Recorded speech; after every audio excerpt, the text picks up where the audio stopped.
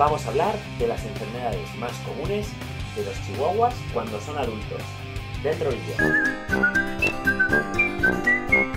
Bueno amigos, pues hoy estamos de nuevo aquí con nuestra compañera Patricia, que es nuestra experta de chihuahuas, para hablaros de las enfermedades más típicas, enfermedades y problemas más comunes que encontramos en los chihuahuas, pero en los adultos. Ya tenemos otro vídeo grabado en el que os hablábamos de las enfermedades más comunes de los chihuahuas cuando son pequeñitos, que son diferentes a las que encontramos en adulto. Entonces, Patricia, la primera pregunta, ¿cuáles son las enfermedades típicas del chihuahua cuando ya es... Bueno, vamos a considerar adulto Vamos a poner un ejemplo a Kenia, que ya tiene un año de vida.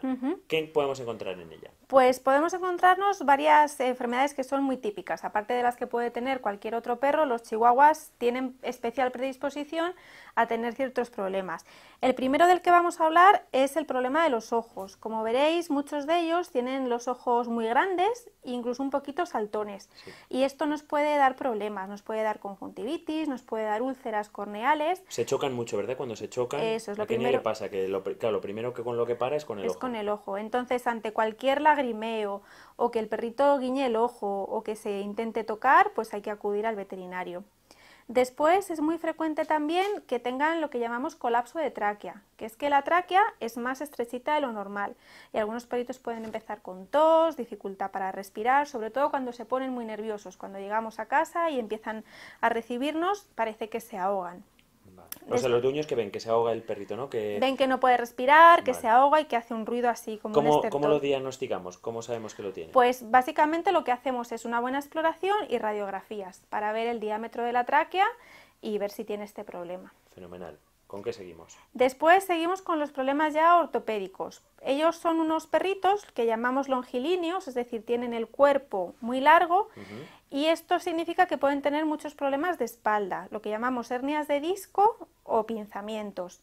Y lo que eh, podemos encontrar es dolor al mover el cuello, cojeras, dificultad para subir o bajar las escaleras, por ejemplo.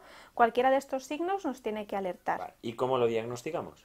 Pues en ese caso tendríamos que hacer radiografías y si hay una sospecha clara, pues haríamos un escáner o una prueba de contraste. Vale. Perfecto. ¿Y qué más? Y por último, otra particularidad de ellos es que son muy frecuentes las luxaciones de rótula.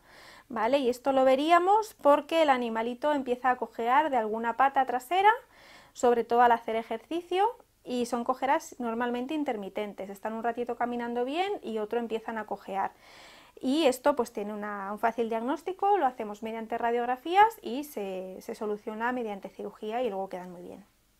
Perfecto, pues esperamos que hayáis aprendido un montón de los problemas que podría tener vuestro perrito chihuahua y esperamos que os haya servido de mucha ayuda. Nos vemos en otra.